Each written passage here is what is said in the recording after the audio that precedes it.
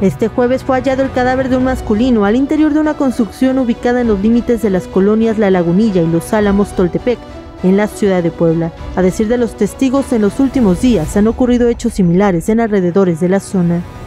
Dos o tres, hace ocho días otro en, en ¿cómo se llama? Dijeron en las noticias que en historiadores.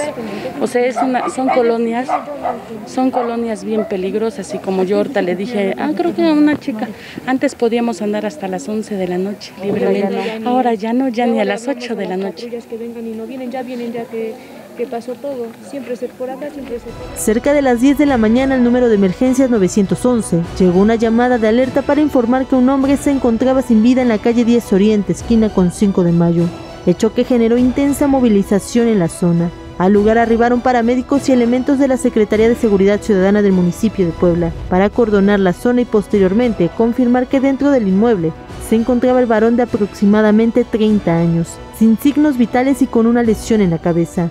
Ante el hecho y la ola de inseguridad en la zona, los vecinos piden mayor vigilancia en el lugar.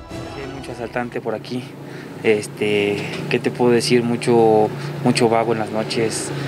Eh, los policías les hablas este, para algún accidente, para, para alguna situación que haya y pues tardan muchísimo en llegar y todo eso.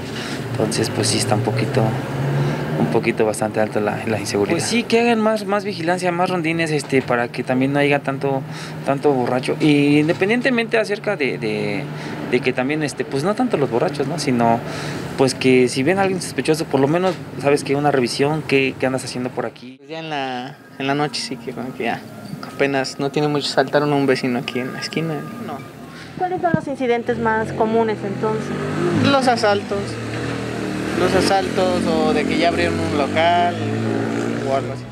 En el sitio, elementos de la Fiscalía General del Estado de Puebla se hicieron presentes para realizar el levantamiento de cadáver y las diligencias correspondientes, mismas que incluyeron la inspección de un taxi que se encontraba a escasos metros del hallazgo, el cual ha trascendido que cuenta con reporte de robo y podría estar involucrado en el homicidio. Con imágenes de Nadia González, Sara y Mancilla, Noti 13.